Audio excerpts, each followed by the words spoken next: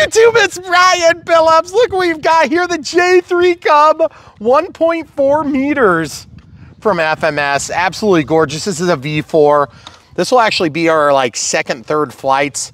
If you wanna see how we got it flying good, stay tuned. We'll show the entire unbox build radio setup in a separate video, but we're gonna show you how we got it flying really good. So stay tuned. We normally don't say watch the whole thing, but we're gonna say watch the whole thing. If you plan to get this plane, watch the whole thing. There'll be some laughs in there for you too. And without further ado, we're gonna go ahead and get ready to go. Throttle cuts off. Oh man, that's so gorgeous. Now look how clean that is going down the runway. Absolutely beautiful. And as you can see, when I give it ailerons, that's at 3.4 volts we're beeping. Wonder if that battery didn't get charged properly. But look how clean it is, guys. Rudder input there, just rudder. A little bit of elevator to keep the angle. And look at this, guys. Now we're in a roll. Look how clean it rolls. It keeps that tail lined up. That's all the stuff you need to make this plane absolutely phenomenal in the air.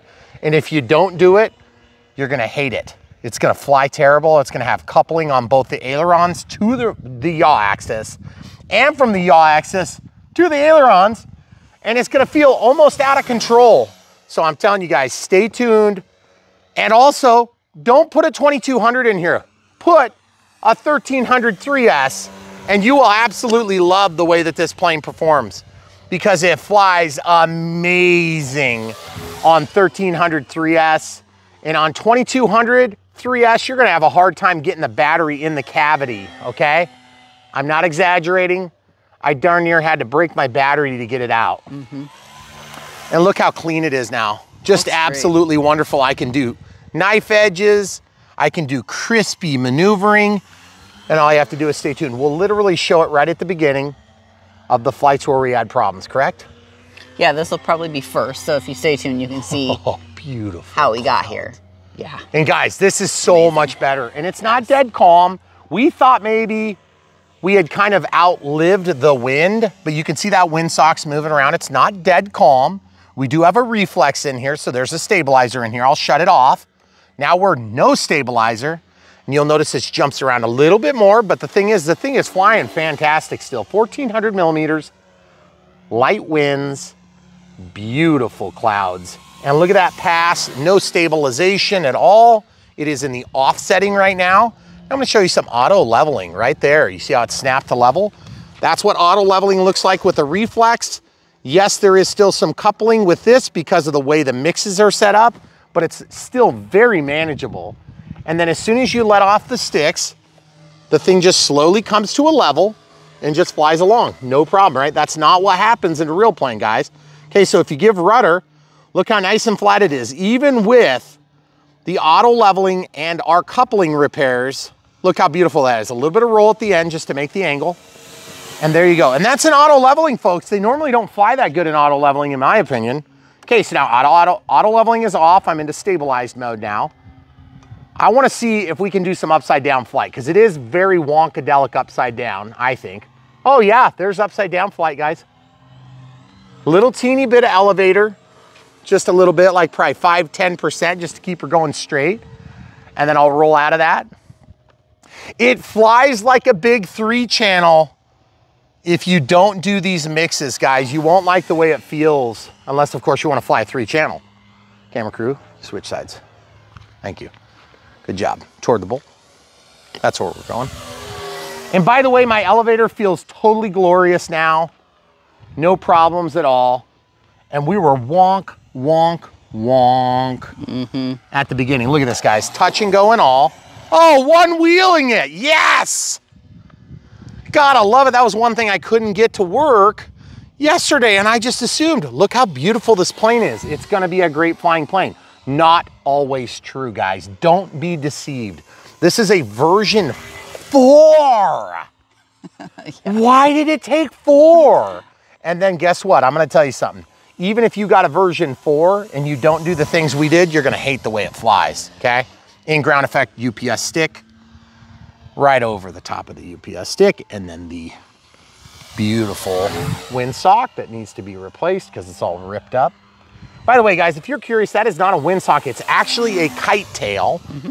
And they are tubular and they catch wind. I used to have calibrated wind socks for PPG and they were quite expensive. I mean, they were still cheap, but they would wear out because they were made from used up wings. And when I say wings, I mean a paragliding wing, which most people would call it a parachute. A little bit of slip, a little bit of slip. Guys, if you try to slip on this thing virgin, you will hate it. It will not slip and it will slip very badly if it does. Okay, now, I haven't even shown grass ops yet because you see my little bounce onto the runway or onto the grass. Yep. Full up elevator. Let's see if we can do it. A little bit of throttle. Very bouncy, rough grass. Uh, we'll have to do that again, guys. I know we can get grass ops just fine with this, but my grass just happens to be coming in right now. Yeah, if you had good grass. If you had good grass, why'd you be doing this? But the nice thing I was gonna say about the Look at this changes that you made. Look at this. Oh yeah. Oh yeah, that's See guys, rough and all does just fine. Yeah. Okay. You could do it. Now we'll go over here to the front yard where we've got a little bit shorter grass. Okay. So full up elevator, getting a uh, getting a little bit of speed, and we'll try. Oh, see that's where you want to watch out is if you catch a low point, you're going to be in trouble. Now throttle cuts on. Don't let the low voltage alarm warn you prematurely because if you're into it hard trying to get over bumps like this, show the people the bumps I'm dealing with. We're talking about Yeah, big clumps of grass. That's pretty bad. Okay, so the, the clumps of grass are gonna get you every time, no matter how nice you're set up on your landing gear or your wheels or anything like that. Which, by the way, you'll wanna stay tuned to the very end of the video for my wheel repair. You guys will get a kick out of it, I'm 100% certain.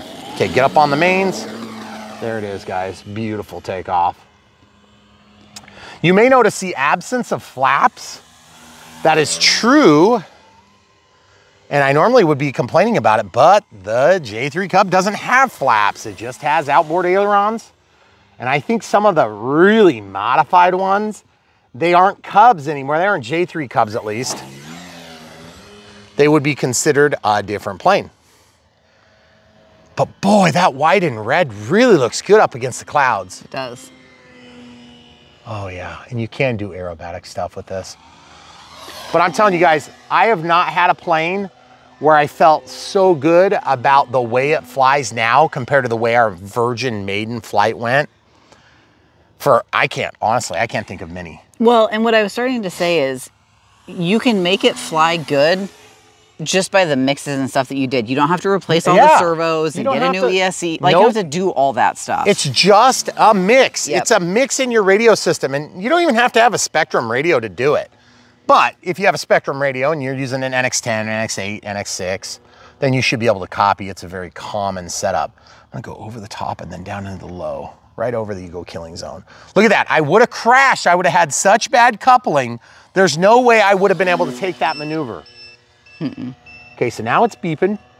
We're probably getting, and look at that. That's an eight minute flight time on 1300. And as soon as I get out of throttle, it stops, it stops chirping at me. five, four, three, Didn't even show thrust reverse on our mains because I forgot I had it. But yes, there is thrust reverse. And the thrust reverse is probably not necessary unless, of course, you use the included float. So we're gonna go ahead and go back to forward thrust, see if we can get a beautiful, I'm kind of with the wind here, so forgive me guys for being lame.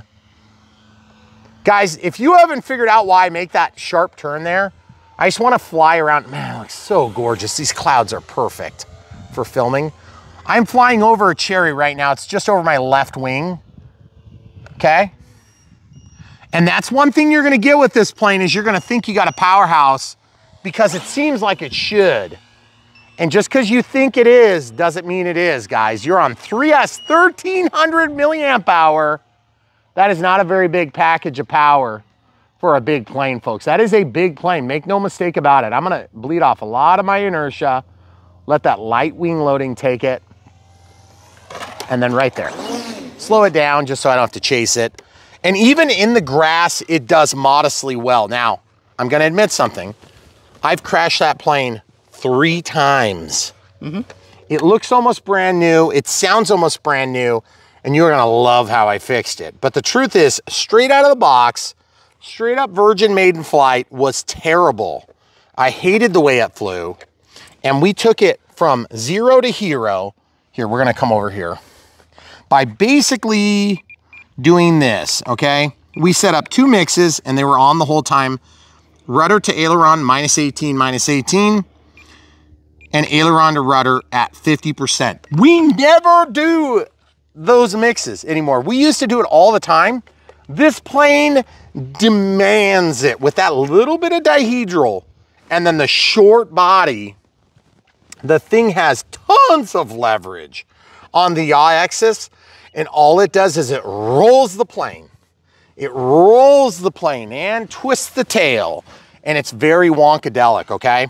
So, and I gotta say, that's an eight minute timer that we went about a minute some change past on 1300 3S, guys. We're not talking about a powerhouse here. We're talking about cheap to battery. We're talking about an economical plane to buy and a beautiful flight experience. And all you have to do is use a smaller battery than they recommend. Mm -hmm. If you use a 2200, a 2200 3S, which is what I started on, that's what they recommend, it's gonna fly bad even though the CG is perfect. I don't understand it. It doesn't even make sense. And you're gonna darn near rip the end of your battery off getting it out.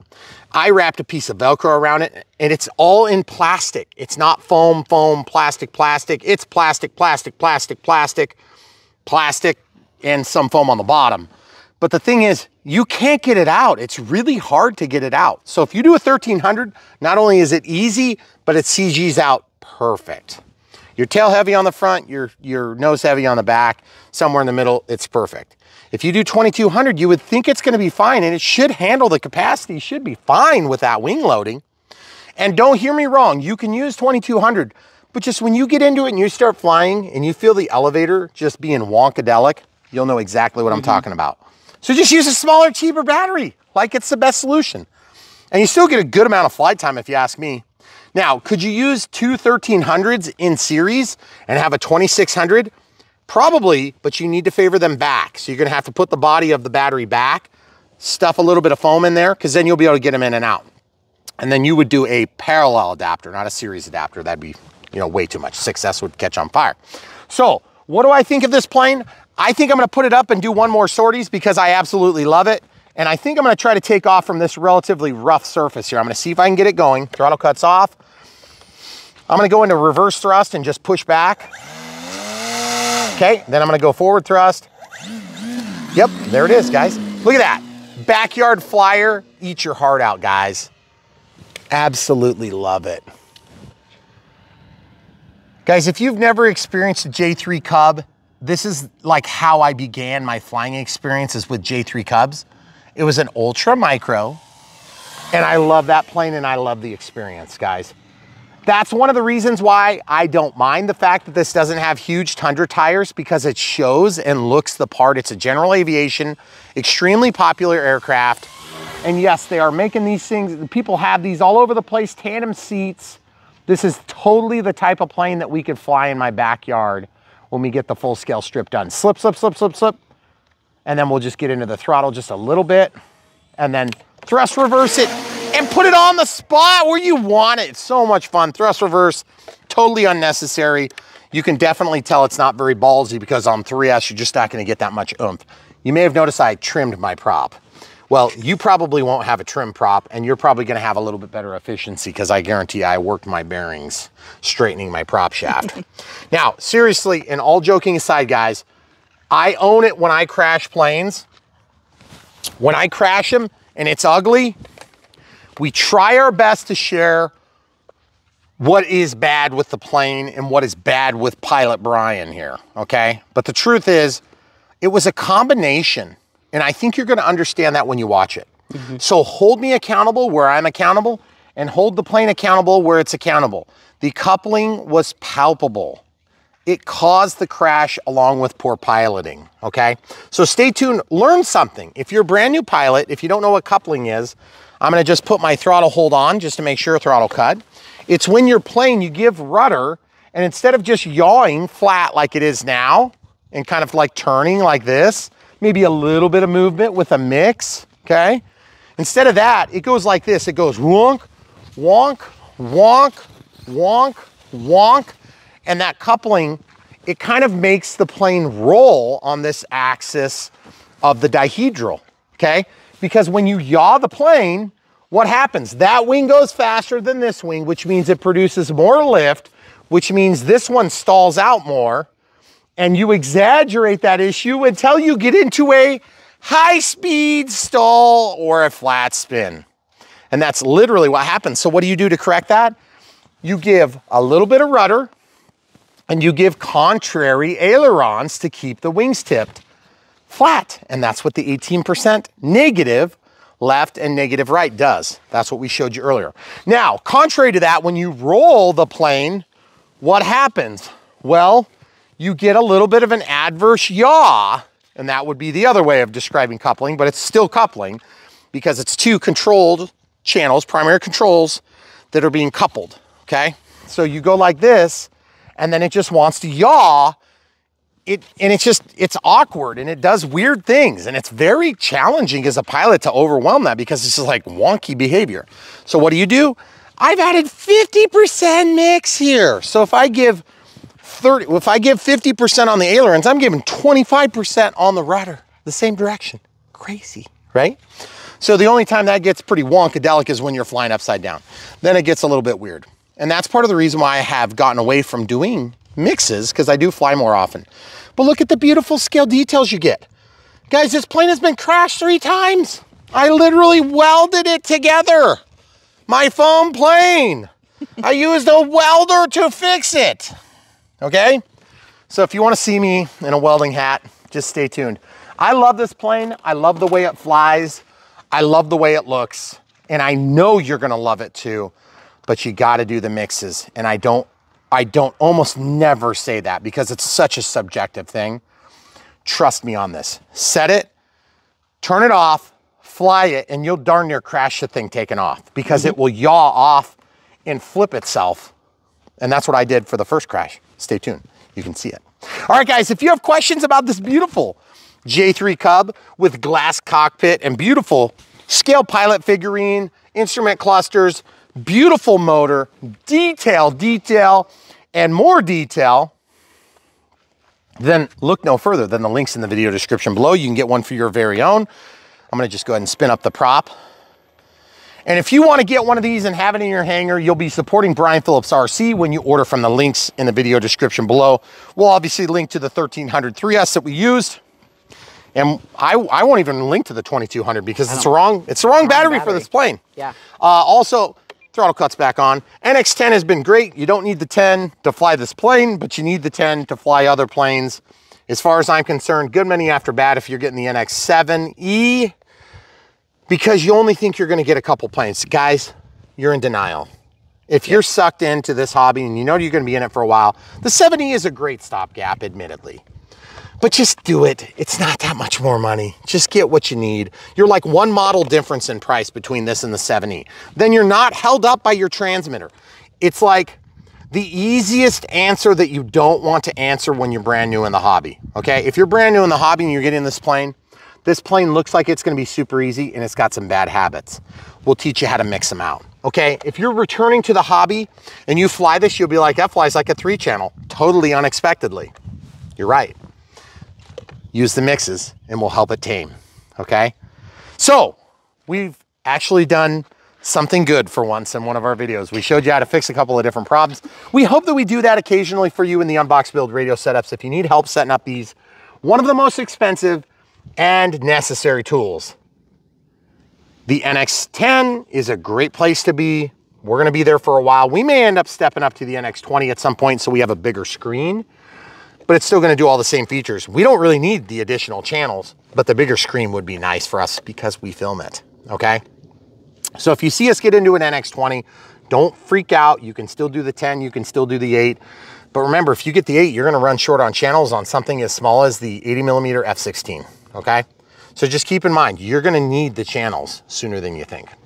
And then you're spending another 550 bucks to get what you could have got the first time and all you did was save 200 bucks. Well, 200 and, with 300 bucks plus 550 is 850 bucks. Now spread that across, across your 10 planes or your 20 planes, and you're talking about a lot more money, folks. You're talking 85 bucks, uh, the 42 and a half bucks per plane.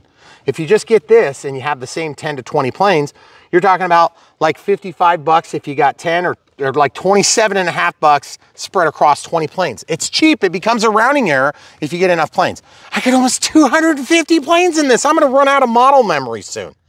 It costs like a dollar or two per plane.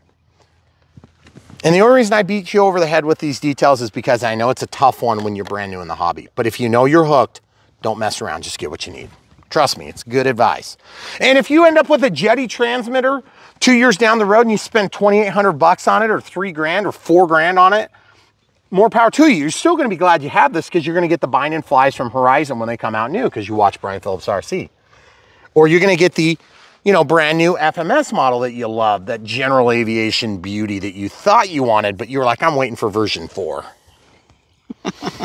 it's right here.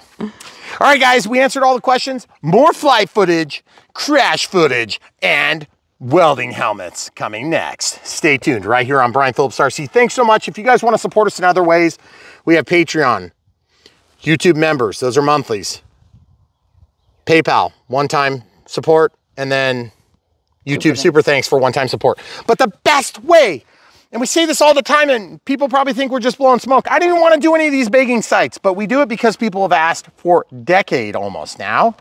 So we offer it up as an option. We still think it's better to just buy this plane, even if your wife is threatening to leave you. You might want to figure out a way to tell her about the snakes in the basement.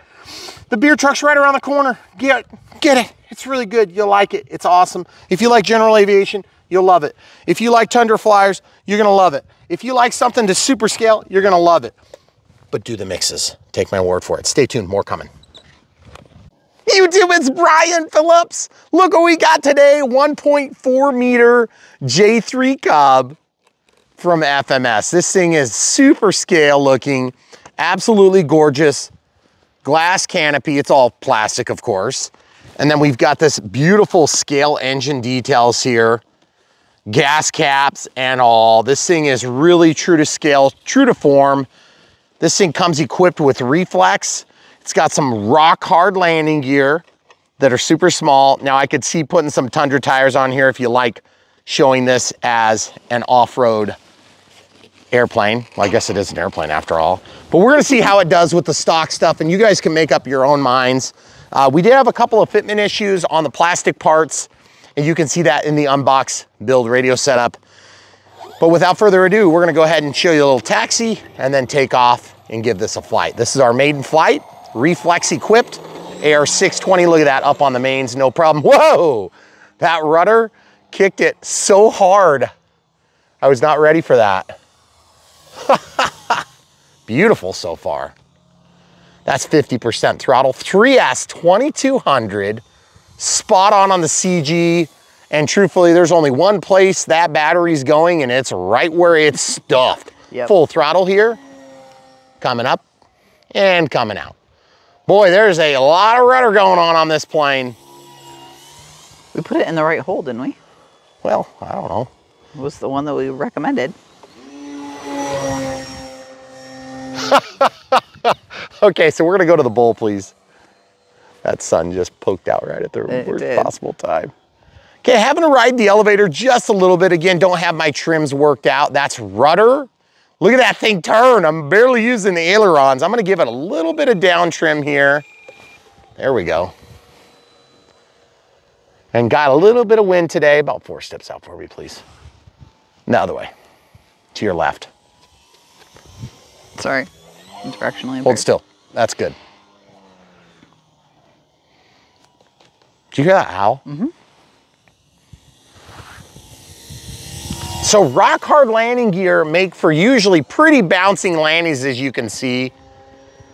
And just to show you, the ailerons are very effective, but man, there's some crazy coupling. Okay, so I'm gonna try some mix with the rudder. 40% mix, aileron to rudder. Let's see how that does. Because it's just so crazy, the coupling. When I give it, when I give it ailerons, ooh, that feels way better. Surprisingly better. Now I gotta say the 3S power is fine. It's just not a fast plane. But then again, okay, hold on. I gotta get a feel for this because it feels like when I get out of the throttle, does the nose drop drastically? I can't tell if it's the wind screwing with me or if it's just, you kind of gotta fly the thing. I love the way it looks. I mean, it's absolutely fantastic looking. Mm-hmm. Just, I'm having to really ride the elevator a lot. I feel like I'm giving a lot of rudder, or excuse me, a lot of elevator, trying to do a one wheel, and it's just like, whoa, that was nuts, folks. Okay, so now just out of curiosity, I'm gonna go ahead and give some trim back. Cause you see how it's wanting to go downhill on me? Okay, so now we're more central. Hard on the throttle, out of the throttle. Just trying to see if it'll glide straight for us. Oh man, no sunglasses for that turn. I should have shut one eye. Man, I love the look though. Absolutely fantastic looking. Up and over. And then rolling to the left. You guys see how that, that tail just goes all over the place when you're trying to do rolls? Maybe it wouldn't a real Cub. It's got kind of a short body to it, you know? This is not a super Cub. It's not a carbon Cub. It's just a Cub. Love the white and red though. I didn't know how I was gonna like it in the sky, but I'm just absolutely in love with it. Let's do an inside pass here, camera crew. You're good where you are. Okay. Just a little bit of rudder there. Riding the elevator just like the last few times. Hard on the throttle so I can make it out of the hole. Do you guys notice the uh, bugs in our little flying area here? By the way, that's full throttle. So, I mean, if you're looking for a speed demon, don't look at this one because it's just kind of slow, but I love it slow. But in real life, it it wouldn't be a speed demon either, right? No, not really. It's fine, good. It's handling the little bit of wind we've got just fine. But I mean, I love the way it looks. I mean, it's gorgeous. Yeah. I just don't like having to ride the elevator like this. I want you guys to be able to see this, what I'm talking about. I'm not used to riding the elevator like this. And it's not just a trim issue because I feel like it's either too far down or too far up. And see, like I'm out of the out of the elevator there, and you could see how it kind of bounced on the mains for me. But then I just feel like it doesn't like find in the middle, the comfortable zone, you know? Where you're not constantly Yeah. worrying about it. But it's just unusual because I feel like usually the reflex will help us get a really nice stable flight. But this one, it could just be a little bit of wind too. I wonder if that's what we're dealing with. Downdrafts. Let's try grass ops. Oh, not bad at all. Surprising. You are in stabilized mode, right? Yeah, pretty sure. I'm gonna double check now though. Yes, I am. Okay. Okay, so I did half as much elevator couple, or excuse me, not elevator, but rudder to aileron couple. Man, that thing looks so good. I love seeing the shadow like that. Whoa, there was a huge downdraft. I barely had enough aileron to get away from that downdraft. What are the chances, folks? It looks dead calm, but it is absolutely not. Or maybe I stalled. Do you think that's what it was? Coming over the hill Maybe. into the Let's see how this does again. I want to try this and see if I can get those wheels to calm down. You see how much rudder input I'm giving it? Yeah. Holy crap, there it goes. Okay, throttle cuts on. Let's go see if it survived. But I'm just saying, it feels really wonkadelic on the elevator axis, and I'm hoping we don't have like a linkage that's giving us an issue, but we'll go up and check it. Kind of guessing the prop would have been damaged in that because I saw a pretty big poof of dust. Yeah. Um, but just looking at the elevator, you can see it's kind of pointed downward a little bit. And then of course the ailerons look fine, rudder looks fine, steerable tail wheel looks fine. Kind of assuming we didn't damage anything actually. Okay, throttle cuts on, camera crew's gonna hold that for me. Hey, that did really good, surprisingly. Although we did chip the prop. How is that even possible? Rock, Um, probably. Yeah, probably.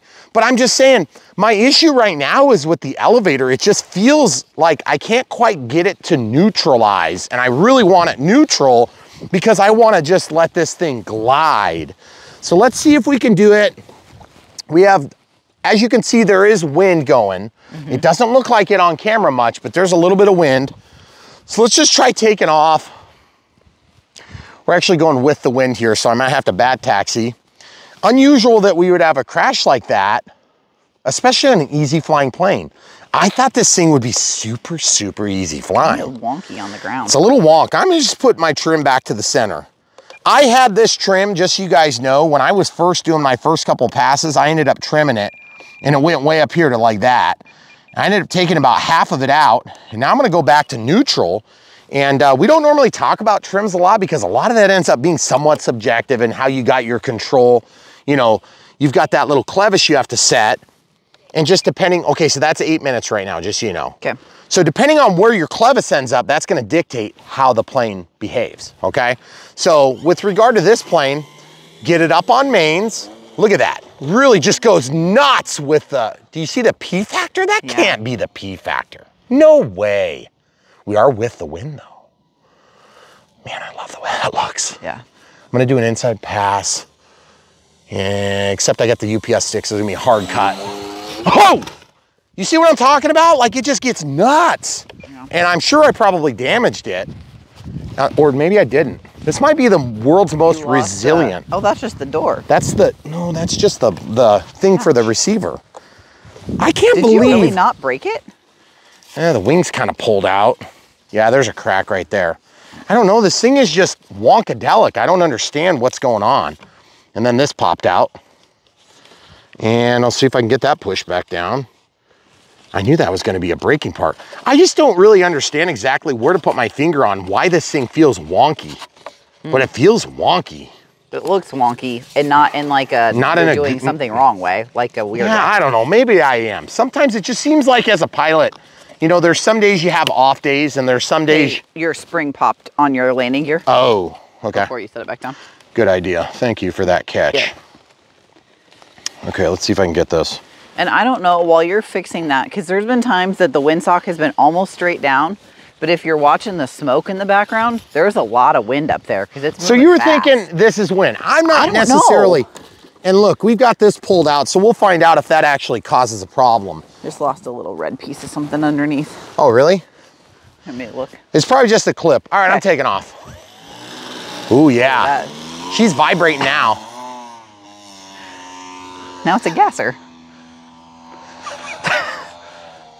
I kind of can't believe it's flying. It's kind of sweet, actually. that sounds cool. it's gonna totally break on us. Well, that'll be fun. But I don't know if I'm just like over controlling it or if I did something wrong. But it's really frustrating for me as a pilot to have what should be an easy flying plane just kick me in the butt. Look at that nice hole we'll hit. I know you were thinking I was gonna crash into it. no. Oh, it could be the linkage on the actual wing vibrating. It's causing a resonance. I want you to be off the runway, please. Which way? Thank you. Let's try landing in the wind this time. Okay. You guys see what I'm talking about? Rock hard tires, that's why we, we don't like them. Rock hard like that. Okay, let's go look at this again, guys. This is really weirding me out because you know I'm a good enough pilot to be able to handle a Cub. But maybe this Cub has just got some bad behaviors about it. I do remember when we unboxed it, I had to work the elevator. And so I wonder if maybe there's just something about the elevator that's not quite kosher. Like maybe I need to break that foam hinge a little bit more. It sure looks like it's moving free. I don't feel like there's any delay or latency there. I also definitely know this popped out. So there's that. That might be kind of a bad thing to fly like, you know, with Oh. that loose. Yeah. I'll just stick it back in and see what happens. Definitely getting some vibration. I don't know if, oh, there's that bent prop shaft. That'll do it usually too. Um, but I gotta say, you know, sometimes you get these planes and you just think they're gonna be perfect. And then they're not for whatever reason. So let's go bend the shaft straight and then we'll be right back. Stay tuned. Okay, so we're gonna just fix this right now. So this thing was loose. So I'm just gonna put some China glue on there. Should be no problem to get that fixed. Uh, we did open a new bottle of FMS China glue. So this stuff is really good. I like it a lot. It's been, except for when it does that, where it just goops all over you. And then you gotta go get your favorite tool that you've ever had in RC, and that'd be Q-tips. So we're trying to figure out why this plane is acting weird. And I don't know if it's just uh, something about the controls or maybe the reflex isn't quite right, but I can definitely say it flies weird. And I've flown a lot of Cubs over the years, and I generally am a sucker for Cubs. So I don't want you guys to think that I don't like Cubs and I'm trying to give this like a bad name or something, but I'm like really bummed. I wanted this thing to be so much and it's just not performing the way I'd expected. And FMS makes a good plane, so I don't know if I've done something wrong or maybe something is broken. I did crack the wing too, so we should look at that too. So I'm just gonna get that little bit. Normally I wouldn't stick it together like that, but given the fact that we've got a couple of spots to glue and we got limited light left, I'm gonna go ahead and work. Okay, so the battery's still in, throttle cut's on. So you can see where this, this broke free, okay? And then this is broke here, right there. You see that? We haven't, we haven't had a crash that I can just fix quick in like two minutes lately. And uh, so we, we honestly, we don't show it very often because we haven't had, the other day we crashed the EC 1500 and just totally destroyed it. It was like garbage, gone. Um, but this was different. This was just like kind of a rough landing into the ground sideways. That's we're calling it. But also, I gotta say, bent pr prop shaft, that is generally not okay. So we're gonna have to try to resolve that too. I actually don't know that I care about this just quite yet. It's not ideal, obviously. And once this glue sets up, I can go ahead and push that back together. This here, I'd like to fold back down because it just bent a little bit on me.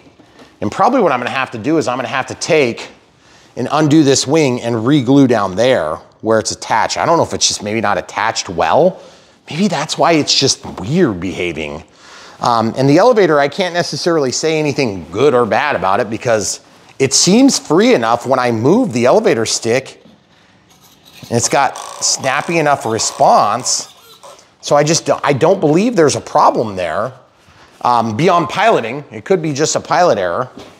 So now what I'm gonna do is I'm gonna go ahead and see if I can bend straight the prop shaft. You guys probably haven't seen me do one of these quick repairs in a while because we haven't done them. So I've got my screwdrivers here and I got a crescent wrench. Throttle cut is on. I do trust the throttle cut. I'm re-triple checking it. It is on. Okay, so obviously that bend is not okay. So I'm gonna just take a screwdriver. Uh, that one might go, no, it's a little bit too big. Go to a smaller one, like a 1.5 millimeter. Put that in there. Break the nut free. We'll just leave that on the ground for now. And then we'll just take this off and see how this motor mount goes together. So we'll pull that out. We do have a little bit of a disparity here. So you see that snapped off part? There'll be a little bit of a balance issue there, but I don't think it's huge, huge. This is just a standoff. And then you can see right there how it bent. So we got lucky. Now, normally guys, I wouldn't suggest you do this, just replace the component that's broke, but I'm in a hurry and you guys are gonna do the same thing. So I can suggest not to do it, but you're gonna do it too, just like I am. Okay, so I'm gonna bite onto this with my tool and I'm gonna just give her a real gentle bend. Yep, but you see how it's twisting on me? Got to hold on to this. I don't want to mar my threads anymore and I have to to get the job done. And I'm just hoping the motor mount isn't broken. If the motor mount's broken, then we'll have to get dug into it a whole lot more. Okay, so we'll see if I got it. Still got a little bit of a bend. Ooh, the other thing is I could probably take this whole thing off, one, two, three screws that are accessible right there, and that would save me taking the whole cowl off. All I do is just spin it so I can identify the low point, spin it toward my belly, and I want to get this leverage as far out as I can, but I don't want to break the motor off. So I have to press in while I'm pulling toward the camera crew here, okay? So I'm to just hold the fuse. Yep, popped. So we're going to see, we're going to see what's going on down here. It might be that the motor mount is broke free. Oh, that Phillips screw's uh, different size evidently. So we're gonna go to three millimeter, see if that works. Nope, we wanna go to four millimeter. And this just says four millimeters. I don't even know if yours is probably not sized the same way. Okay, so I'm just gonna pull these four screws out and see what we can find. As you can see, our beautiful sun is setting over the horizon. Really bummed about this plane. I mean, it's like, it's a plane that I was super looking forward to and uh, just, just not living up to my expectations, AKA I crashed it. Um, but if you guys are brand new to Brian Phillips RC, what we do is we unbox, we build, we radio set them up. We try to get you, get you in the air uh, in a way that's gonna help you step by step. And so that's part of the reason why we're showing this crash here, not because we're proud of our crashes. It's kind of embarrassing to be honest. Um, but I just, I wanna get to the bottom of, is there something wrong with it? Because all the correction directions were the same as what we expected. Okay, so the screws are right there when I get all freaked mm-hmm. out and forget where they are. Okay, so let's go ahead and pull this beautiful cowl off. I can't believe that didn't break. It didn't. Okay, motor mount. The motor mount does not appear to be broken, guys. Okay, so you can see the motor here. Yeah, Predator. Everything looks good there. So you can see now I can support it while I'm trying to bend this shaft back. Like if you see what I'm doing, I'm just spinning it around looking for the point that I want so I can work it. And then I'm gonna come on here like this and I can hold the stator and protect the stator and give it really good strength now. I should be able to bend that just a little bit. Now, you could also take this off, put it in a vise. The other trick you can do that will work in most cases is you can take a second crescent wrench. And remember, when these shafts get bent, they usually bend out at the tip, especially with these weird offsets like this.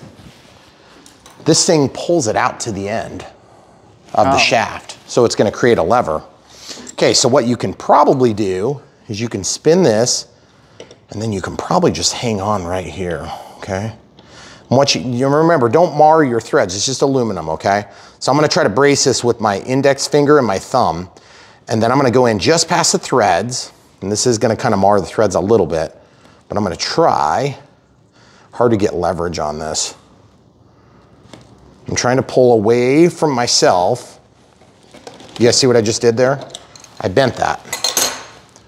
Now look at that. It's not perfect, but it's pretty dang close. A lot better. It's a lot better. It should fly like that. Okay, throttle cuts off. You can see a little bit of wiggle in there, but the wiggle is back here. So we'll see if that translates to the actual output shaft area. I'm gonna try a little bit bend back. Right here, I'm gonna just go toward the camera crew. Okay, so now let's see. Did we get it? Throttle cuts off. There's a little bit of a walk in it, but I think we're gonna be okay. Throttle cut is back on. So now obviously at this point we need to put the cowl back on. You can see we crushed a little bit here. We try to show how the plane's damaged. I can't believe how well that plane did. Yeah. Um, and yet it's still frustrating. Okay, look at this guys. See this, how it's pulled apart like that? If I put that together, I could probably pin that with a couple toothpicks, but I'm gonna wait until after we get a couple flights done. I'll bring it inside and just clean it up after off camera because there's no root, there's nothing really special about that. I just gotta take this wing and glue underneath when we're done. But for now, let's see if we can get this cowl back on because we're gonna have a beautiful sunset. So folks, if you're brand new to Brian Phillips RC, you wanna help support what we do, uh, which is trying to help get people back in the air. People that have left the hobby for whatever reason, maybe family reasons or work reasons, or you know, you had a hiatus from the hobby for 20 years while your kids were growing up or whatever it was, uh, which we hope you guys don't do that, but a lot of people do. Or maybe you moved from the area where you had good access to a flight field. We want to help get you guys back in the hobby. And then we also want to help people that are brand new to the hobby, just trying to figure out how to do some of this stuff. We're to show you step by step. And that's what we do. So that means sometimes, you know, swallowing my pride, showing you a couple of crashes.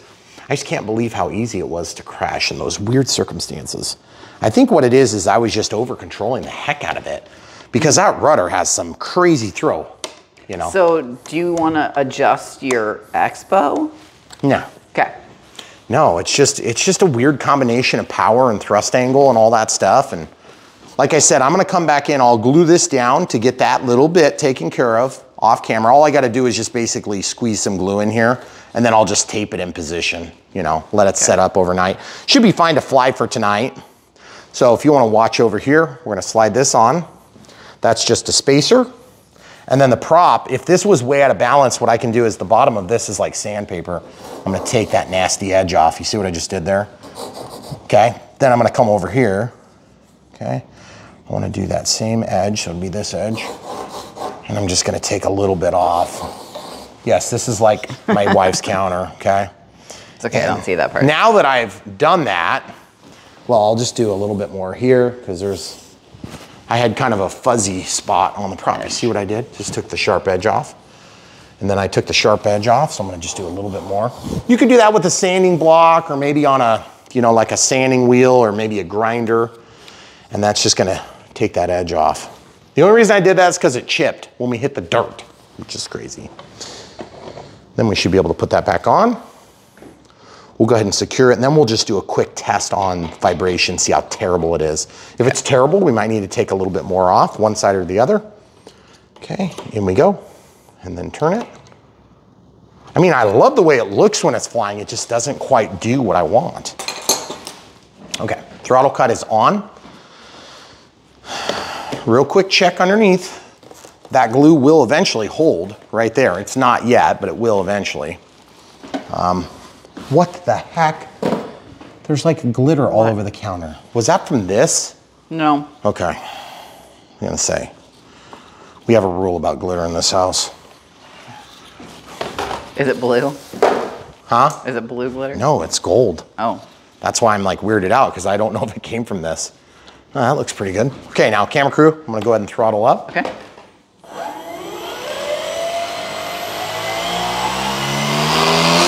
Still got a bit of a gasser going. Okay, so at this point you could you could assume that there's maybe what I'm doing is just watching the prop as this spins. I'm gonna go ahead and go real slow so I can watch the prop, the tip. Okay. Oh yeah, it's still a pretty big walk. Okay, so I'm seeing a little bit of forward and a little bit of backward movement. And so a lot of times what you can do is you can actually straighten that. But also I think what's going on I think what's going on is that we just have a little bit of extra material on the end. The throttle cut is on and tested. Okay, so watch this. See this little bit? Watch this. I'm just gonna literally cut it with scissors to get a sharp edge. And then now that we've got that sharp edge, I'm gonna come back around and I'm gonna just do the same thing here. You see what I did there? Mm-hmm. Cut that little bit of black fluffy stuff off. Okay. And now we'll come back and test again. Throttle cuts off. And I think it's just gonna probably vibrate because of the bent shaft a little bit. And then I'm sure our prop is out of balance. So with that, we're gonna go back outside and we're gonna keep flying for just a minute longer. And uh, we appreciate you guys sticking around. We'll be back in just a sec.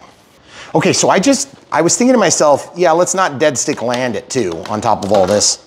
So I'm gonna pull off the bottom. I'm gonna show you what I did. I wrapped a strap around the battery so I could manipulate the battery out when we're done. Because that's one thing I noticed about this, this tray is it's notoriously difficult.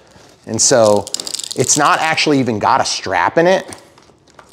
And so what I was thinking is I could spin this strap until it gets at the right angle where I can help pull out the battery. And you guys see what I'm doing right now? This is a plastic housing all around. So there is no give to it. And that's part of the reason why I put this FMS strap around here.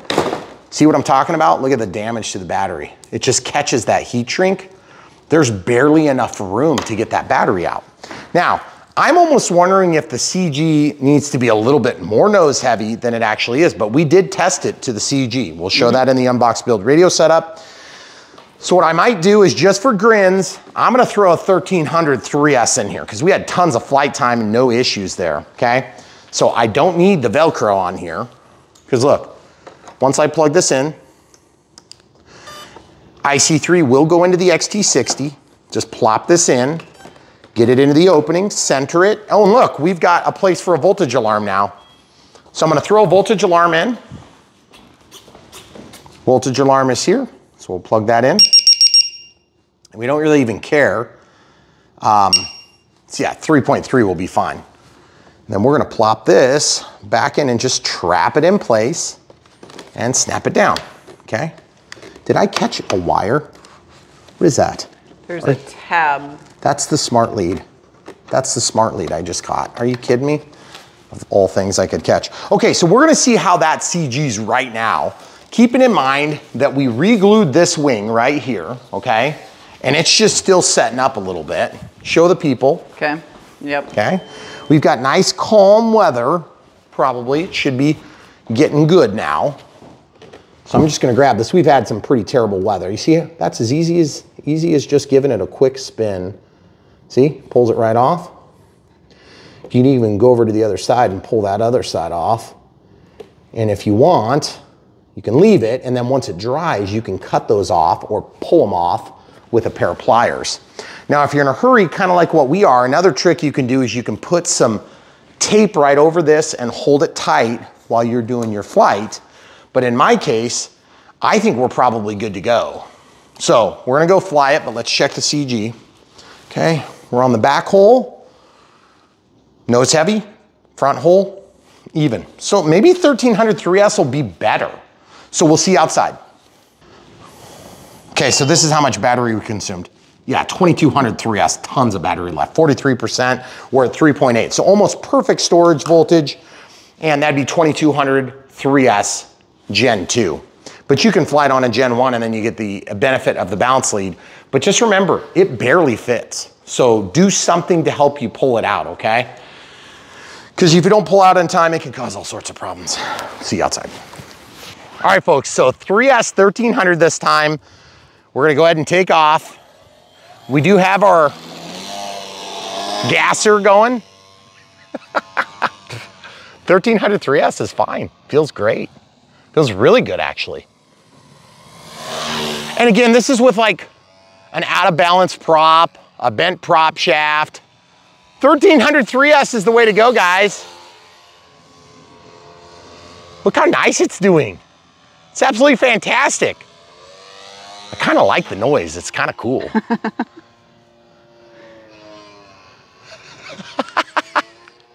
you know, that motor mount, you guys see what I'm talking about? Look how clean that was. It just felt perfect. I'm not having to ride the elevator now. And this all glued up, what the heck? So I wonder if they just are putting people into too big of a battery. But it really felt pretty good on the CG, I thought, when we did our unbox. Mm-hmm. Didn't you think so? It looked like it. It looked fine. Okay, a little bit of rudder. How beautiful. I'm gonna actually do the 40% mix we did. So it basically automatically mixes in a little bit of rudder with the ailerons and just behaves really nicely. Let's try auto leveling, okay, now that we have crashed a few times. A few. So this is auto leveling with the reflex. Okay, just to show you, it does automatically level the plane. So it is gonna limit our bank angles. So there's gonna be mix on the rudder steer still, but that doesn't necessarily change the limits of the system. Okay, so when I let go, it's really slow to level. I noticed that about reflex. It takes longer to bring the plane level than like AS3X would snap it back pretty quick, but you might like that, okay? So roll, look at that, look at that guys. It just, it just swoops the plane, you see? Mm-hmm. What I'm talking about? Now, when I get out of the throttle, how does it glide? It glides nicely, but I just feel like it's gonna still let you get into a weird stall. This asymmetric behavior. Okay, gasser, getting into the throttle. Oh, it does kind of balance out though, at least. Let's do a big, huge loop. Out of the throttle, right at the crest. It's fun to fly, but it just flies a lot different than I thought it would. Because if you've flown like the Carbon Cub, SS, or even the Carbon, excuse me, Carbon Cub S2 1.3, you know, I figured it'd fly a lot like that. This thing is a lot harder to fly, especially if you put a 2200 in there. I gotta say the 1300 makes it totally different behavior. And it's not just different behavior because I crashed it three times. I wanna try to get up on the mains. Let's try a couple of touch and goes. We are out of the wind, admittedly. That might be a big factor. I don't know. I still don't think that. it was that big of a deal, though. That's pretty good behavior, though, guys. I kind of like the gasser myself. I think the, what you want to do is just go crash it on your maiden, Yeah. just so it gasses around like this. And it does kind of come into resonance when you get up the throttle, which is about perfect. sure it's super efficient. It's, it's just so stupid that it, it flies better now that I've crashed it. I do not understand it for a second, guys. And I don't think it's me just changing my behavior.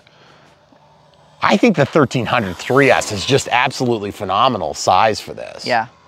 I think it's a big part of it. And then, of course, we did lose a little bit of janky wind, okay? A little So if you guys look at this flag, hard on the throttle. See, it's just, it's almost straight down now. And it is, it is a gorgeous looking plane.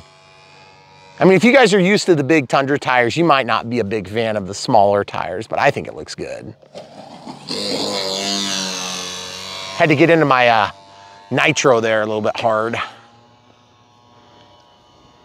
And by the way, the reason I think that the motor is so noisy is because did you see how long the motor mount is? Inside pass, if you don't mind. Oh man, that looks so dang good. It does.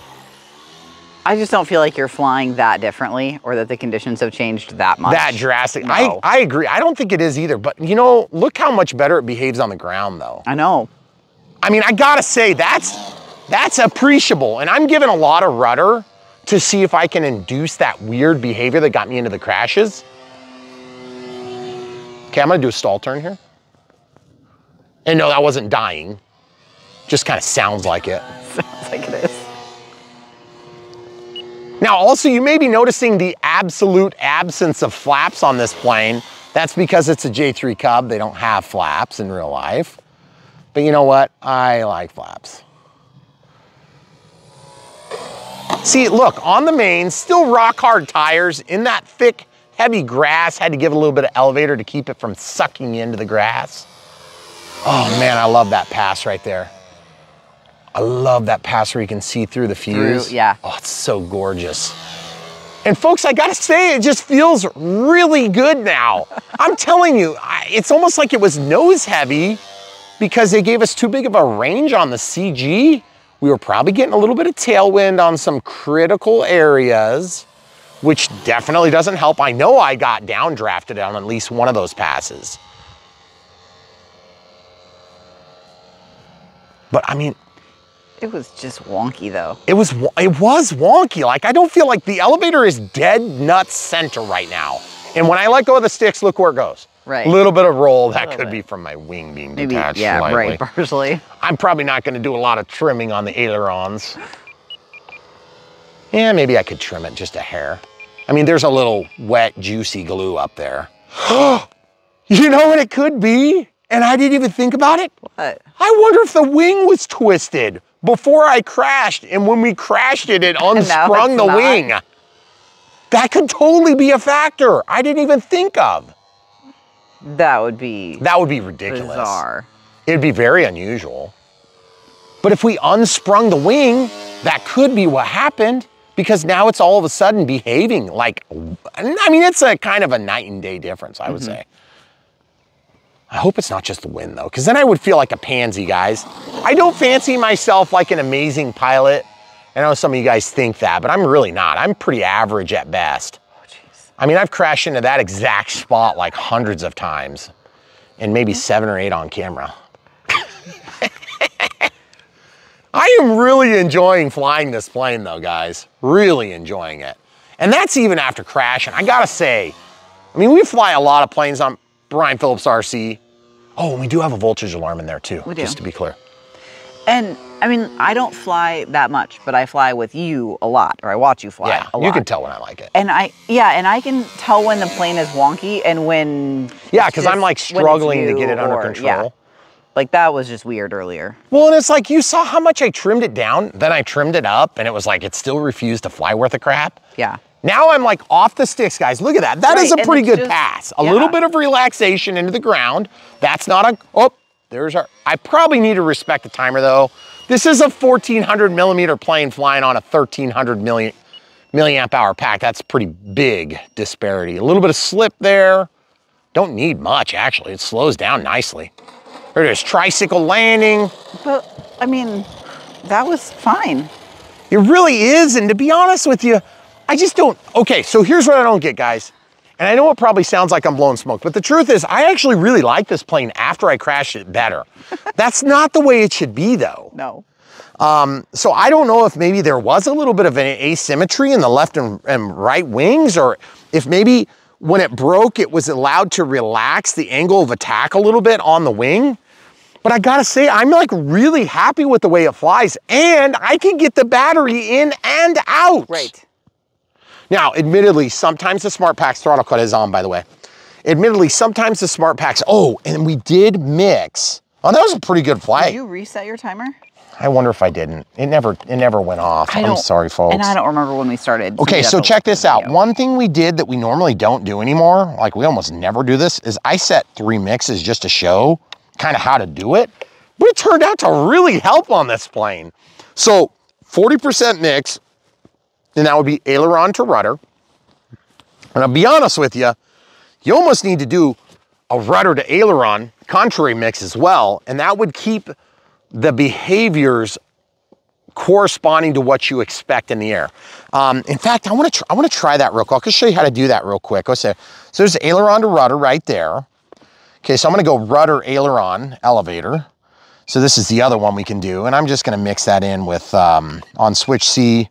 I'll set it to two, and then it'll be off on this one. Okay. So with this spot, I want rudder to aileron to be like minus 10 and minus 10. So what's gonna happen is when I give rudder, it's gonna give contrary aileron, okay? So I'm gonna yacht to the left and it's gonna try to keep those wings level, but only in this setting, okay? When I come out of that, then I'm gonna get a 20% aileron to rudder mix, and then I'm gonna get nothing. Okay, so I'm gonna start with that. Throttle cuts off.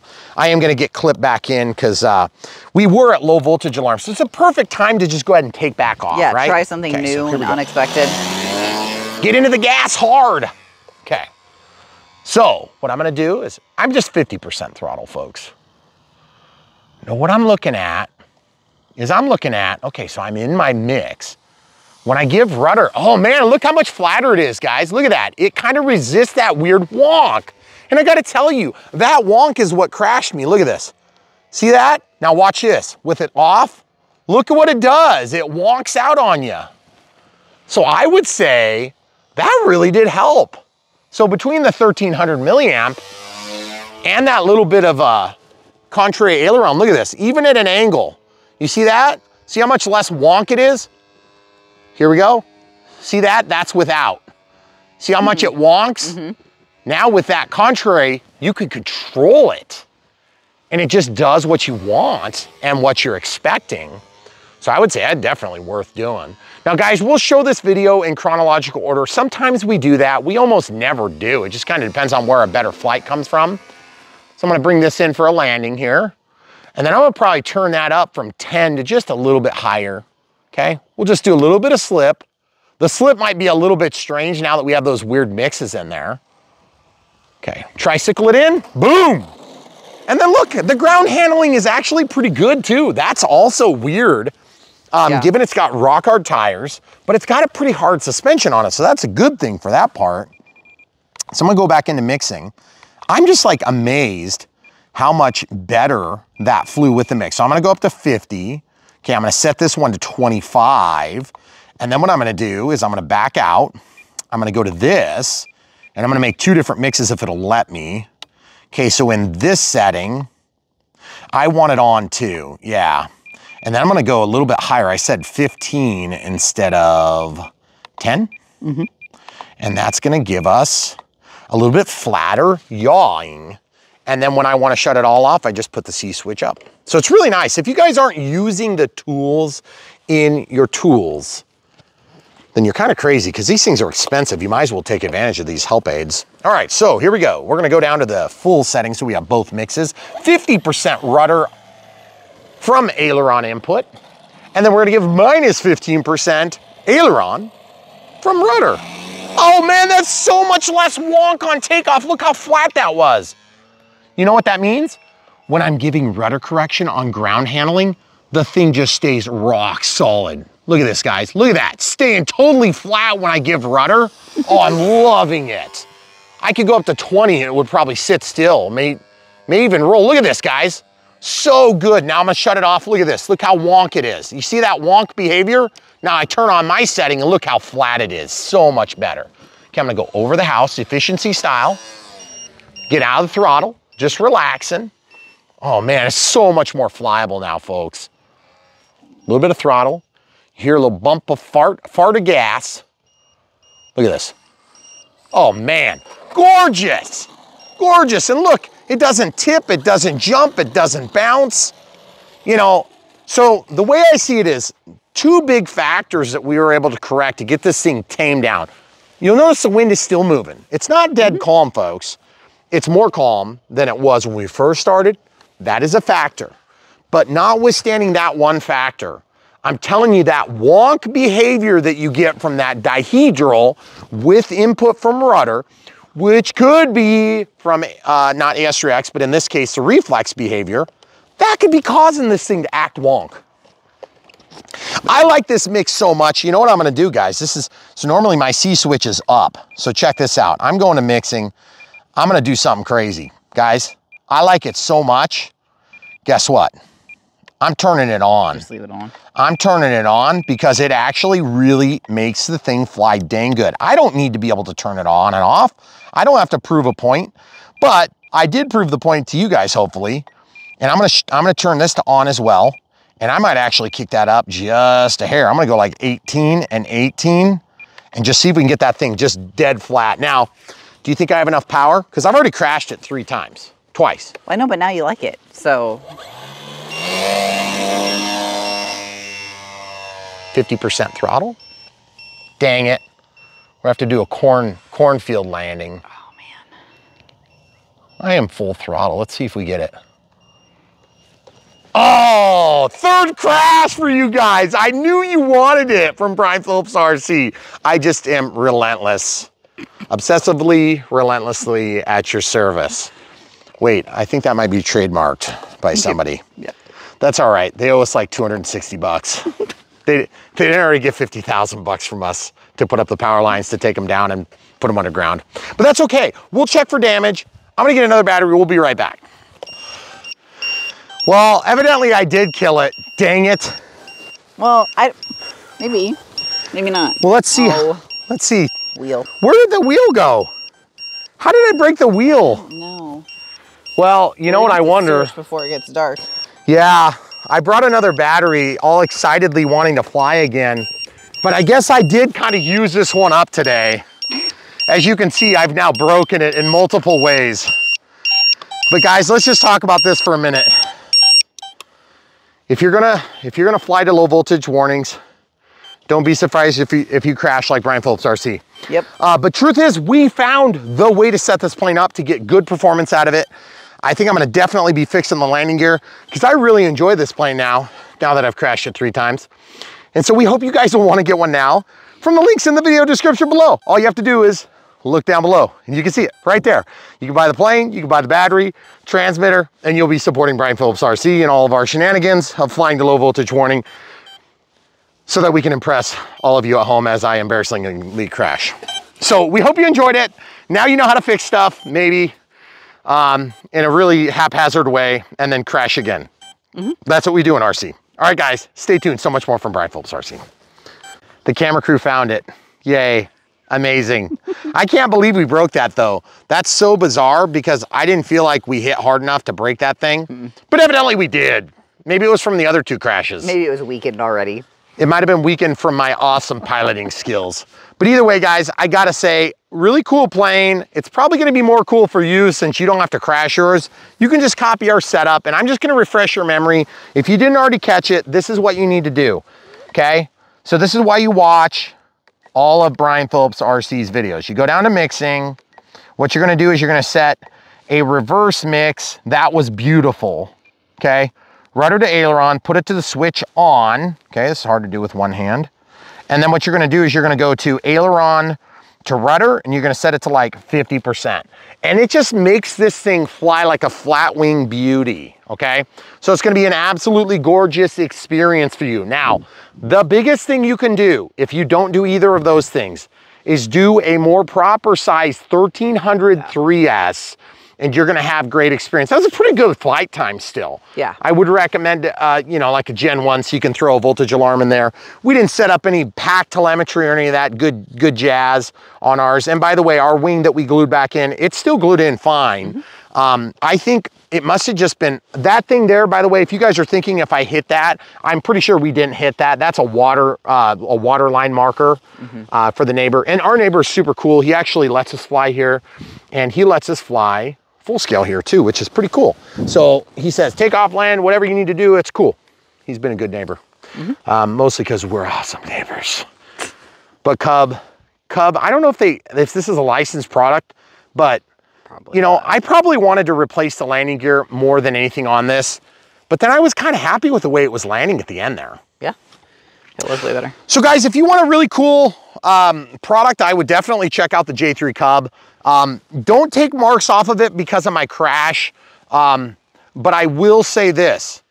I don't like when you have to do mixes to make a plane fly clean, but I suppose it's better that I sacrificed it for you uh, so that you don't have to. And uh, to be honest with you, I think this will be a pretty easy fix. I'll just find landing gear from some other crash plane I've got that happen to fit into this hole, or I'll order new ones. I mean, every once in a blue moon we do that, like once every 10 years or so, because we've been doing this about 10 years. Due to order something. We are due to order something. Hey, and you didn't mention this does come with floats. Oh, it does come with floats. Um, and yeah, the floats would actually take care of the landing gear issue. I could just put the floats on. Just wait till we have a pond yeah, there's or that like detail. water in the pond. That we Yeah, have. we'll have an empty pond soon, hopefully, like in a couple weeks. But if you guys are curious to see the progress of the pond, just stay tuned. And if you haven't already subscribed to Brian Phillips RC, please do so. And we'll be happy to drag you along, kicking and screaming through all of our crazy RC adventures.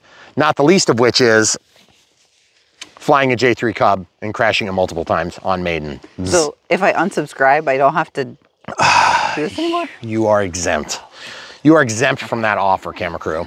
Uh, but yeah, seriously though, guys, really cool plane, beautiful. Just look at it from my good side. if you have questions, leave them in the comments below. Uh, actually flies pretty good, but I'm, I'm seriously wonked out by the fact that we need those mixes.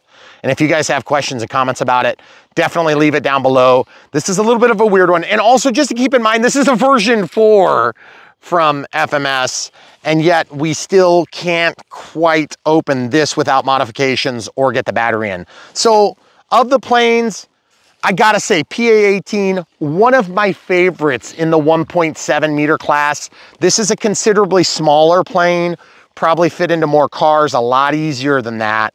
But this reminds me of the way it flies and that it just does what you want once you do the things that I suggested. And you'll be surprised, you'll be saying, don't be blowing smoke. You're just trying to make excuses for your crashes. Guys, you should know me by now. I don't really make excuses for crashes. I just crash stuff and then I do it again. But the truth is, on this one, I felt like that wonkadelic behavior that did contribute to the crash. It's not like it caused the crash. The pilot error caused the crash because I induced wonkadelic behaviors from a plane that could have been better controlled if I would have put those mixes in. And so that's what you should do, and you can save your J3 Cub. And I gotta say, the thing is still gorgeous even after the crashes. It really is. Amazing, amazing. We, we hit pretty hard on that first one we hit the dirt. Both of them. Where we chipped the prop. Yeah. And then the second one where we like broke the motor mount and then ripped the wings out. I can't believe it's still flying. I want to fly it right now on one wheel, but I know the camera crew is going to get mad because it's getting dark. It is getting dark. Yeah. But I was totally going to do that, and then she talked me out of it through telepathy. It's It is- weird. it is we've been dark. we've been married a long time. yeah. We're old. All right, guys. Hopefully we answered all your questions and then led you to some other interest to have one of these for yourself. And if we did, definitely check the links. If you want to support us in other ways, we got Patreon, PayPal, YouTube Super Thanks, and YouTube members. All appreciated, but we really think the best way to do it is buy planes when you like what you see. Now, if you don't like what you see here, I do want to make a little bit of an appeal to you. Like I said earlier, don't blame the plane for the piloting error, but do blame the plane for having wonkadelic behaviors, okay? We're trying to strike the balance between, you know, giving you guys the full unadulterated truth and also balance it against the fact that, you know, I flew it into low voltage protection and crashed it, which was stupid. And I do that a lot for you guys. And then also I crashed on takeoff like an idiot. And then also the wonkadelic behavior I induced myself. So, I mean, you have to weigh those things into your decision making when you see me do it. But at the, on the flip side, you've seen me fly thousands of sorties and not crash because of wonkadelic behaviors. I crash on those instead because of giant trees that jump out from nowhere Right. 45 years ago when they started growing. All right, that's all you get. Stay tuned. So much more from Brian Phillips RC. Okay, YouTube. So off camera, I did some repairs. I just want to point out a couple of details. No mic. Sorry, I took off my beautiful blue shirt. I'm just going to disappoint a lot of you. But you can see the landing gear pulled out. We forced some glue in here, some China glue. China special China glue. We did a big thick piece of tape. I had the camera crew squish this in and just pressed, I pressed the tape in. I did that on both sides. You can see it's kind of relieving a little bit. Mm-hmm. Okay. So now also I pulled the cowl off. You guys may have noticed I was trying to straighten the prop shaft here. I'm gonna give you a quick, I did have to glue the motor mount back a little bit, but watch this guys. Okay, so throttle holds off.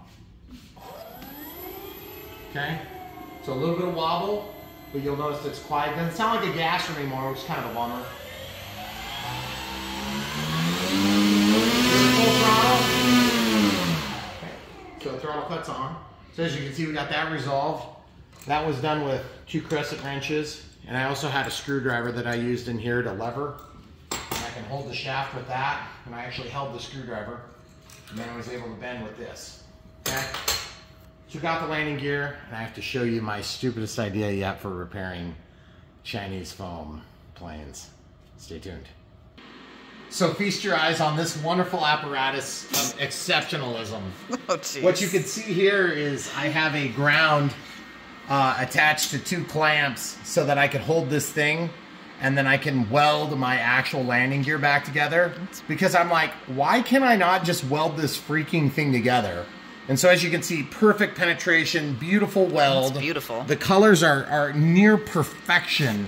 So I'm just gonna clean this up and I'm gonna show you one little bit of, are you gonna be able to, you won't be able to look, but the camera can look. Okay. Okay, so I'm gonna show you guys proper safety gear. We've got some gloves. The These are shorts, welding gloves. the- got shorts. okay. And then I've got slip-on Nice. things. Lovely. Okay, so this is this is the way you do it on YouTube. So if I get burned, extra points. Did you watch the solar eclipse with So, those on? That's oh yeah, of course, of course I did. So what I'm gonna do is I'll release my uh, my professional clamp mechanism, drop this out, okay? So that just releases that. And see, I've got my ground actually attached to that, and then my heat settings they're hyper specific. I turn the knob to two instead of one. And then I turn the wire speed all the way down. This is just a 110. I, I even forgot to turn the gas on. Oops, that probably would have helped a little bit to keep this cleaner. But seriously, look how nice that looks. Now I'm gonna weld this side and I'll show you what it looks like. Now camera crew's just gonna close their eyes when I weld.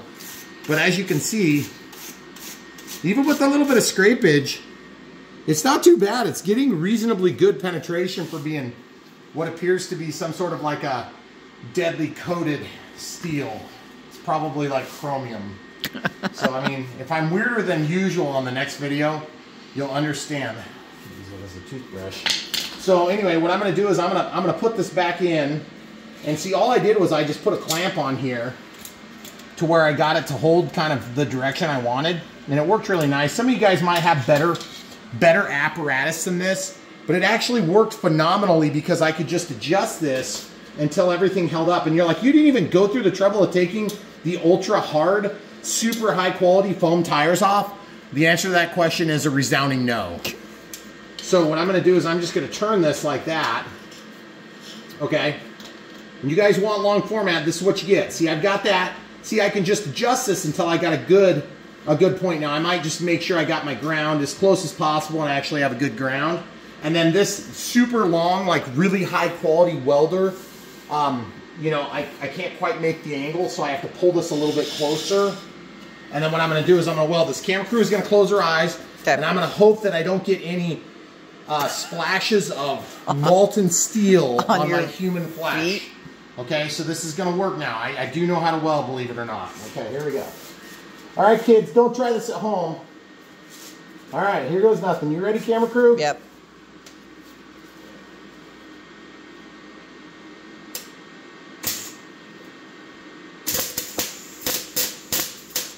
What you want to do is listen for the perfect noise. Like, you know that pop, pop, pop, pop, pop, pop, pop. If you hear like a couple of pops, you're good. That the, is Chinese steel. It's Okay. different. It's, it it's different. It's, it's different. Okay? then put your knee down and make sure you catch like a ball of molten steel when you're doing it. And go in there and grab it right away. Okay, look at that, guys. Look at that.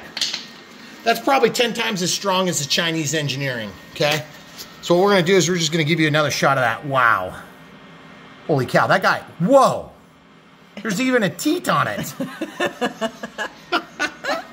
oh my goodness. Okay, so we'll pull this out. It's not that bad. Just kidding. But seriously, that is not bad penetration for a crappy welder. And look at that. And we have we have good alignment. We have a little bit of squareness issue here. I was gonna laugh if it. I know. Me too. But I mean seriously, what are you what are you cringing for? Look, Wait for it to snap. well, that's a little toasty. Do you want to touch it and show No. people? Okay, all right. You'll take my word for it, guys. I will. But seriously though, um, when we when we do this stuff on Brian Phillips RC, like you usually don't see all the repairs. You just see some of them because sometimes I crash on my own when we're not filming. It doesn't happen that often, truthfully. No. But yeah, look at that. That's not bad at all. I could take a grinder to that and make it look pretty, but I'm probably just gonna make it look ugly. And I'm just gonna like put that on a plane and I'm just gonna fly it like that. And all I really need to do is let this cool down just a hair. In fact, let's go do it. We'll just leave this apparatus to cool because it is a welder after all. And we'll pause and meet you back inside. So remember, from now on, only welding helmets while working on foam. Safety first, okay? Remember? Okay, so you see this? This side needs to come in just a hair. So what I'm gonna do is I'm gonna take this spot to bend because that looks like that would do it. So I'm gonna hang on to this, okay? I'm gonna show you that trick I had with the screwdriver, okay? So the screwdriver meaning I'm gonna use a number two. This just happens to be a long, yes, I have all the scrap in my kitchen and my basement and in the truck. And if we have another building, I'll do it there too. You see what I'm talking about? That becomes my lever, okay? So you can hold this wherever you can hold it. And then the other thing you use is obviously another, you know, sizable wrench, not a crescent. This one's Master Force, guaranteed for life to fail. Yeah, okay. Okay, so now what I'm gonna do is I'm gonna grab uh, two points of contact here. And I don't even know if I'm gonna need. So all I wanna do is get a 90 degree lateral bend. So I need to, which way do I need to do this? I need to do it like that, and then I'm gonna go up with my chest. Okay, so I went up with my chest. Oh, body, look at that, I overbent it just a hair. You guys see? Just as easy as that, okay? And then this, this might need to be splayed out just a hair more. I might even be able to get that last little bit with my hands. Okay, there it is. Touching the weld. Oh yeah, she's already cool. Cool to, to the touch. Safety first, guys. Keep it safe out there. Now, let's just stick. I mean, we just welded this like 30 seconds ago, so let's go ahead and put it in the foam plane right now. Um, I'm gonna take off my safety gear because it's dangerous here now. She's just counting down. So basically what we need to do is we need to put this back in, okay? And so that's gonna drop back in, and then our springs will get loaded here in a second after we're done putting this back in, you know? And the funny thing is, I think this might actually fit better now that I did that. Because you remember when we first installed it, we had all sorts of heck trying to put that in, mm-hmm. okay? So I'm just gonna show you guys. Because here at, on Brian Phillips RC, we always finish our videos and then have the camera crew uploading them, and then I come in and ask her to add a clip. Yes. We don't always. So you better all watch this eight minutes and 42 seconds. This is an important 8 minutes and 42 seconds, okay? So this is truth in RC, guys. If you don't have a welder, you know, I don't know what to tell you. You're just gonna have to go to your neighbor and use his welder or hers. But seriously though, I've never used the welder to fix landing gear before, but I'm gonna do it all the time now. Because like honestly, that was still hot. I'm just kidding, it's not that hot. But there is, this this worked really good. I'm surprised, you touch it. Touch it. Oh, it's It's warm. It's warm. But when your body is expecting it to be like 400 degrees, you're usually a little bit extra protective. Unless you're really smart and you wear a welding helmet to fix foam airplanes. Right. Okay, all right, so that's that's done. Now all I gotta do is just put these little spring doohickeys on here. They obviously serve their purpose. They, they protected the plane from damage. I'm still, of all the stuff that broke, this is the only thing I don't understand breaking was the landing gear. Which, by the way, you can buy landing gear. It's not like they're not for sale. I'm just a cheapskate. Ooh, that's beautiful. And I watched when I was uploading the video that's already uploading. Yeah, you're welcome. It was. It did not look like that hard of a landing. So I still am I don't surprised. understand. Maybe it was broke before and we just like Or finished the weak job or something. I don't know. Okay, so look, now I'll just snap the the fairings back on. Snap, snap. Okay, and I was correct. I think I might have said in the unbox build radio setup, these are gonna be the first things to break, so boom. Now these tabs are broke off somewhat, but I'll be able to still get them on. And that's gonna hide my beautiful welding job. I'm actually kind of just- True. Now your little nipple is in the way. Oh, well, the nipple's never really that problem. That's, that's, we're gonna tolerate that. Okay. I can definitely put up with that. It's a trade-off, you know. All right, so guys, there you have it. 1300 3S stuffed in the hole, ready to rock and roll. We got nip now. And the landing gear are in one piece, ready to fly again. The skies over Brian Phillips RC. It's gonna be amazing. We hope you guys enjoyed the additional content because obviously if I wore this all the time, I would be even better at this job. So I'm gonna start doing it all the time. But seriously though, that, that surprisingly worked well. And I think we're gonna keep some of the resiliency. I should probably take that off before I damage something else. Um, the resiliency of the landing gear should be back to par. I think that weld got good, good enough penetration, it should hold up. So really like the way it flies. I'm kind of dying to fly it some more. So if you guys see a flight and everything looks smooth and perfect, we will make sure to mention the fact that we did all these weird mixes to make it fly that way. Because at the end of the day, we want you guys to have a good experience. We want to crash them so you don't have to. Uh, occasionally that does happen, but truthfully, this is a beautiful plane. It's gonna irritate the heck out of you if you crash. But I gotta say, the thing took it like a man. I mean, it really did. I'm super surprised. Megan's really surprised, the camera crew. And uh, I mean, even this direct hit on the wing just like barely crushed the tip. I mean, it's almost unbelievable. Yeah, it really is. And motor mounts, uh, prop got damaged. Motor mount was dismounted. The wings broke free from the plastic, but I took it out and flew it. Even with this wing mm-hmm. strut, which is sort of pseudo-structural, came out. No damage to the tail, no damage to the servos. All we had to do was just some minor welding and gluing. all right, that's all you get. Stay tuned. So much more from Brian Phillips RC. Thanks for watching.